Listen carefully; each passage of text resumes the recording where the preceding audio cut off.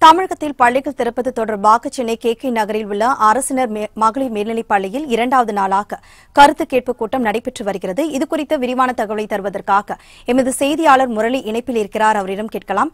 வணக்கம் முரளி. தற்பொழுது தமிழகத்தில் கொரோனா ஊரடங்கிற்கு பிறகு பள்ளிகள் எப்பொழுது திறக்கப்படலாம் என்பது தொடர்பாக பெற்றோர்களிடம் கருத்து கேட்பு கூட்டம் தற்பொழுது நடைபெற்றுக் கொண்டு வருகிறது. இது குறித்த விரிவான தகவலை பதிவு செய்யுங்க ஸ்டெல்லா பொங்கல் விடுமுறைக்கு பின் தமிழகம் முழுவதும் பள்ளிகள் திறப்பது தொடர்பாக மாணவர்களிடம் மாணவர்களின் பெற்றோர்களிடம் கருத்து கேட்பு கூட்டம் நேற்றும் இன்றும் நடைபெற்று வருகிறது.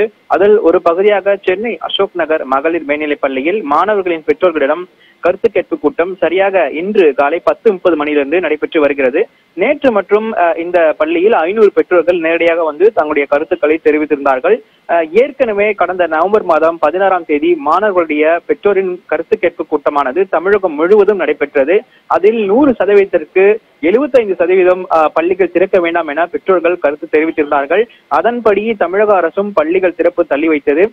ஆனால் வருகின்ற பொதுத் தேர்வு நடத்தியே ஆக வேண்டும் என தமிழக கல்வித்துறை அமைச்சர் தெரிவித்திருந்தார். அதன்படி பத்தாம் வகுப்பு மற்றும் பனிரெண்டாம் வகுப்பு பயிலும் மாணவர்களின் நலன் கருதி பெற்றோர்களின் ஒப்புதல் பெற வேண்டும் என்பதற்காக இந்த கருத்து கேட்பு கூட்டம் நடைபெற்று வருகிறது.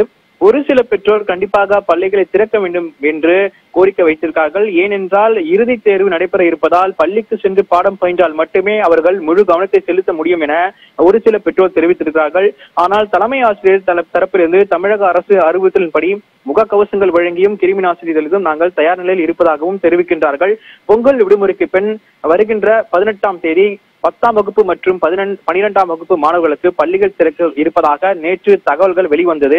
இந்த நிலையில் தமிழகம் முழுவதும் நடைபெறும் இந்த கருத்து கேட்பு கூட்டத்தில் பெற்றோர்கள் சமர்ப்பித்த மனுக்களை தலைமை ஆசிரியர் ஒன்றாக சேகரித்து அவருடைய கல்வி இயக்குநர் அலுவலகத்துக்கு அனுப்பி வைப்பார்கள். அதன் பிறகு தமிழகம் முழுவதும் உள்ள கல்வி இயக்குநர்கள் அதை தமிழக அரசிடம் ஒப்படைப்பார்கள் என்று எதிர்பார்க்கப்படுகிறது. இறுதியாக தமிழக முதலமைச்சர் கல்வி அமைச்சர் வாயிலாக எப்போது பள்ளி பள்ளிகளை திறக்கலாம் என்பது குறித்து ஒரு அறிவிப்பு வெளிவரும் என்று எதிர்பார்க்கப்படுகிறது ஸ்ரீலா உங்கள் விரிவான தகவலுக்கு நன்றி முரளி.